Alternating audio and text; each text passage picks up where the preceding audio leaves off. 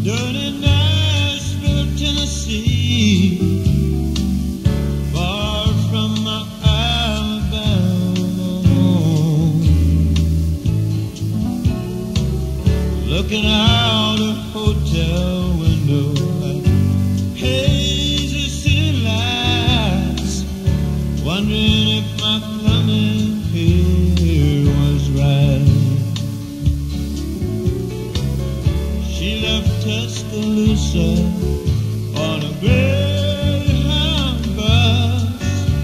Just a coat and a suitcase in her hand. She got a job waiting table.